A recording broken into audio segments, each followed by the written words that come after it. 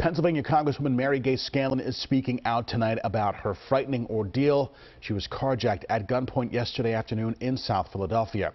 Eyewitness News reporter Matt Petrillo spoke with Scanlon and joins us from Center City tonight with all the latest. Matt?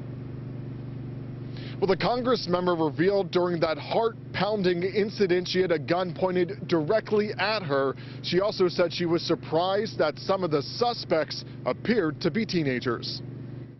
It was a scary thing to have happen, but I'm extremely grateful that no one was hurt.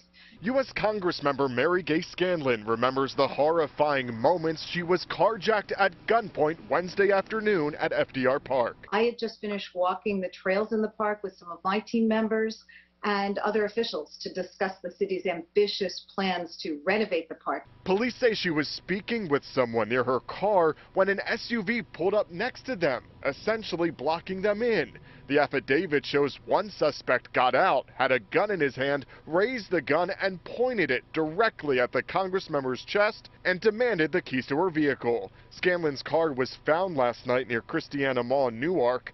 Four minors are now charged in connection to being in a stolen vehicle. But 19-year-old Josiah Brown of Wilmington faces federal charges after admitting his role to police.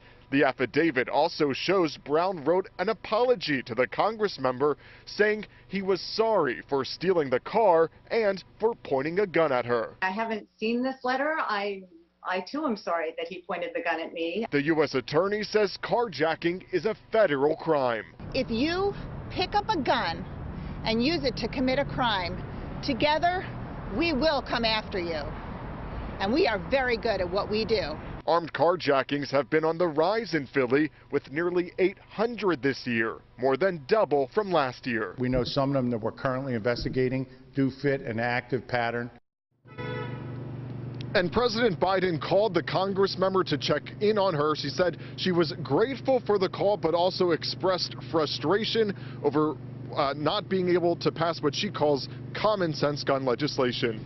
Reporting live outside the federal courthouse in Center City, Matt Petrillo, CBS 3 Eyewitness News. Thank you for that update, Matt.